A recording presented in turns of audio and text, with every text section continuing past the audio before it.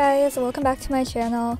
So today I'm going to be showing you how to make this tie front peplum crop top. It's very flowy and just an easy top to put on for like a summer picnic or to the beach. So I had this old shirt and I still really love the fabric of this so I'm going to keep the shirt and transform it into a peplum crop top.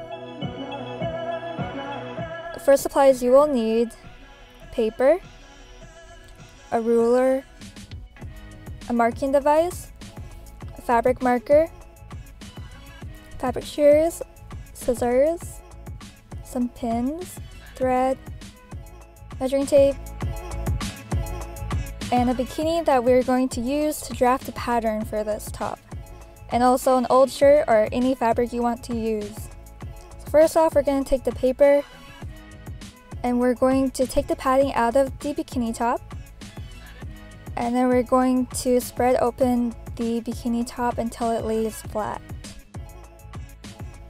Next, you're going to mark your center front, the side of it, the bottom, and the top of the bikini top. After that's done, you can remove the top. Then using the bottom point, we're going to draw a straight line across Next we're going to connect all the dots together. Next I'm going to draw a 3 and 3 quarter inch line. After that's done, I'm going to connect it to the top point. And I'm going to mark where my center front is. For my tie front straps, I'm going to make them 12 and a half inches long. So from the center front point, I'm going to uh, mark 12 and a half inches long. And then we're going to connect it to the top point again. Next, I just added in one half seam allowances all the way around. To make the back piece, we're going to measure ourselves. So I'm going to measure myself right under my bust line and it's about 25 and a half inches long. I'm going to use that measurement to make the back piece. So to make the back piece, I'm going to draw one straight line and I'm going to mark where the center back is.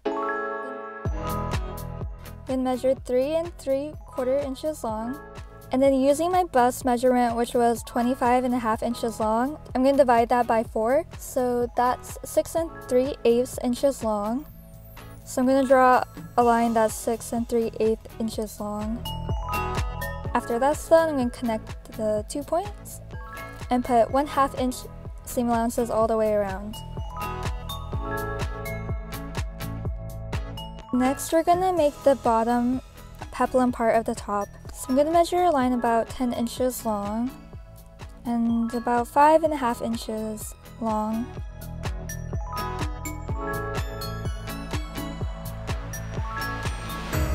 And then I'm gonna add two inches to the bottom line and then connect these two points together. And I'm just gonna draw in a dotted line just so I know where my center front is. And then we're gonna put half inch seam allowances all the way around. Okay, we're gonna make the back uh, peplum part of the top. So I'm gonna make a 10 by five and a half inches long rectangle. And then we're gonna put in one half inch seam allowances all the way around. I made my straps 15 inches by 1 inches long.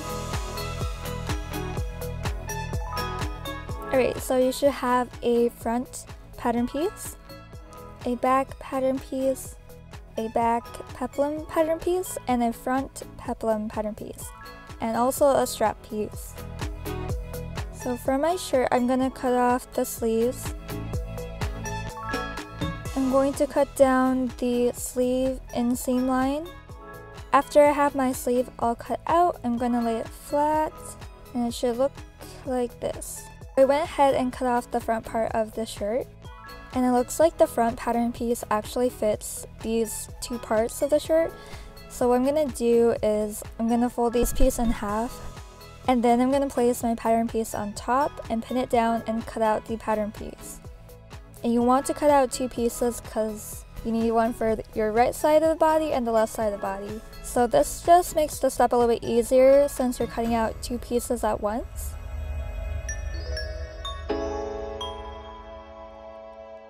So I'm gonna fold the back part in half because we're gonna work smarter and not harder.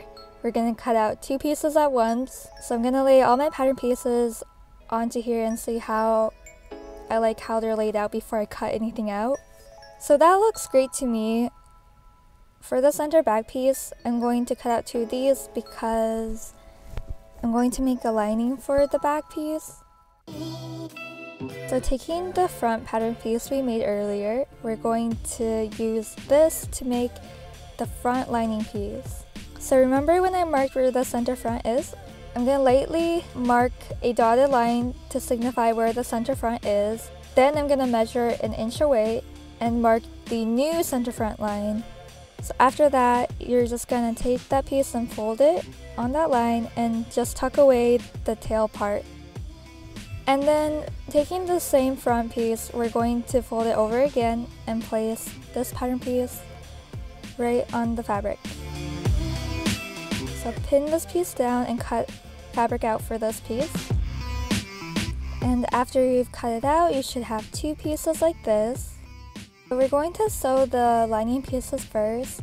I'm going to take the center back lining piece and sew it to the front lining piece. So I'm putting the right side of fabric facing down for all these pieces.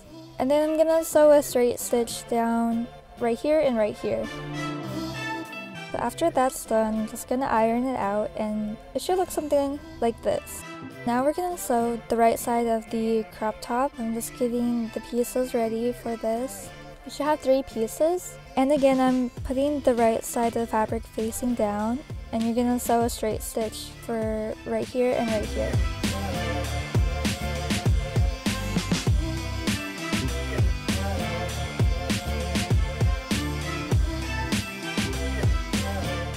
After that's done, you're gonna sew it down and it should look like this.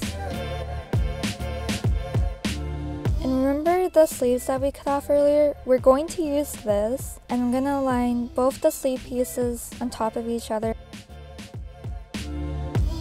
Then I'm gonna put the back peplum piece on here. But I just realized that this is two separate fabrics, so we're gonna have to make a half inch seam allowance for the center back part. So just remember when you're cutting this piece out to leave a half inch seam allowance.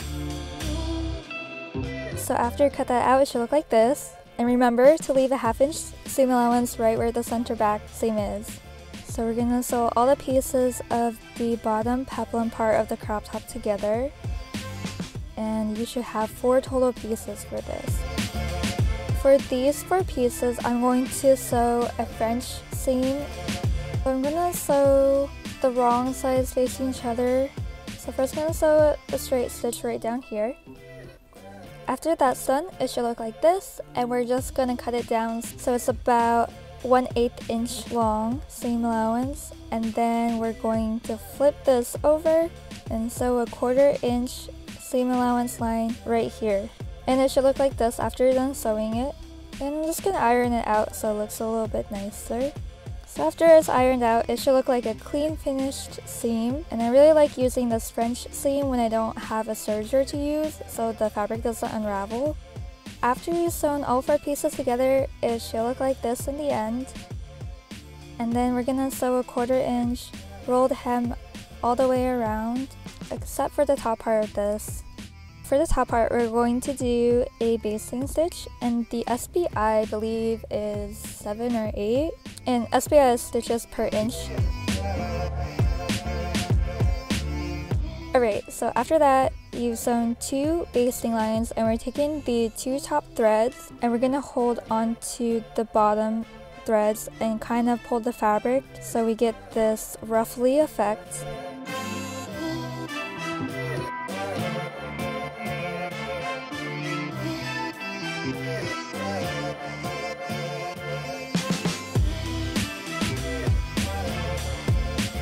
Once you've pulled your fabric through, it should match up with the lining piece.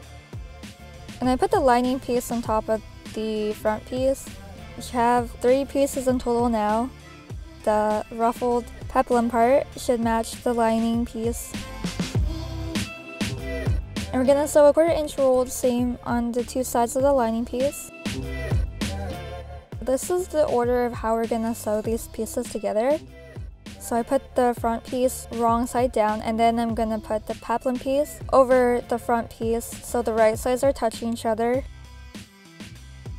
And then after that I'm gonna put the lining piece on top with the right side facing down.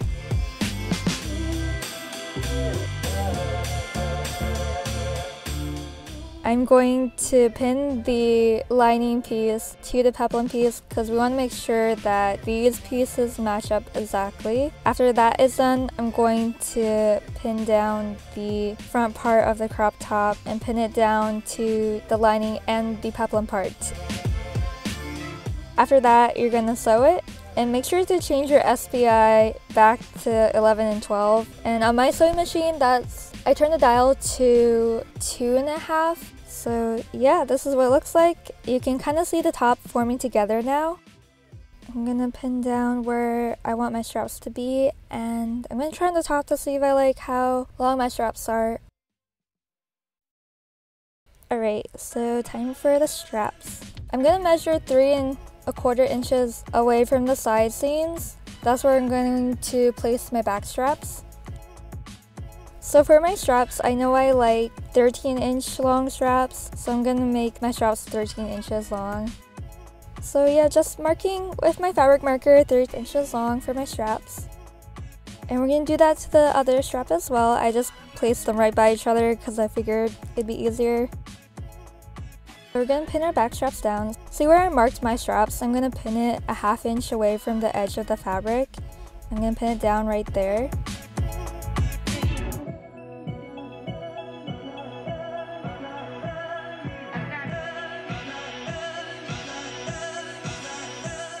So I just made sure my straps were lying the same side up. We're going to tuck in the peplum part of the top. We're gonna sandwich it between the lining and the front side of the top. Then we're gonna pin these two pieces together.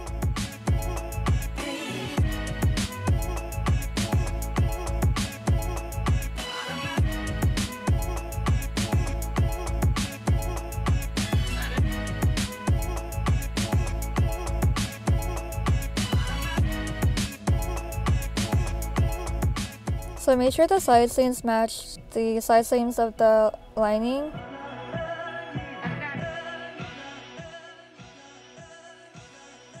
And we're just gonna trim off the excess of the straps. We're gonna clip the seam allowance part of where we just sewn. So when we flip the fabric, it'll be easier to flip. And I'm doing about an inch or so between each clipping.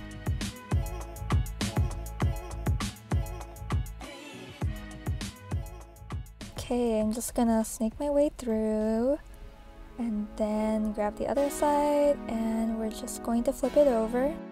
And I realized that this part may be a little bit tricky, so you might have to ask somebody with smaller hands because I kind of struggled. so maybe ask like a younger sibling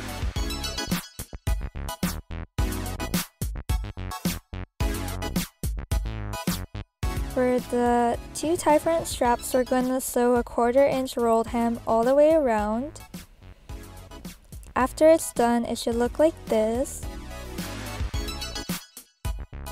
I'm just gonna put in some padding because this fabric was really thin for my personal liking and I just feel more comfortable with the padding in. You can use bikini paddings if you have those too and put them in here. I just bought some cheap ones off of Amazon and I just kind of reuse and recycle it through different tops I have. And you can also use these for um, different bikini tops you have, or if you've like lost padding for a bikini top, you can also use these too. They're super handy and great. I also like to use them for different dresses I've sewn or like different sewing projects. But yeah, that is the end of the tutorial and now I'm just going to model this for you guys to show you how cute this top is.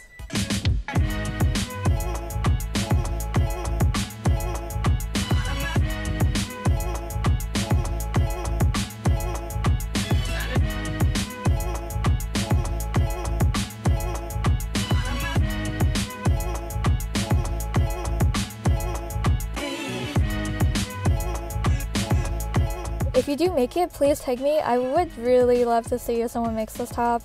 I'll include a link to my Instagram down below.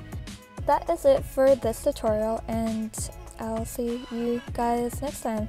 Bye!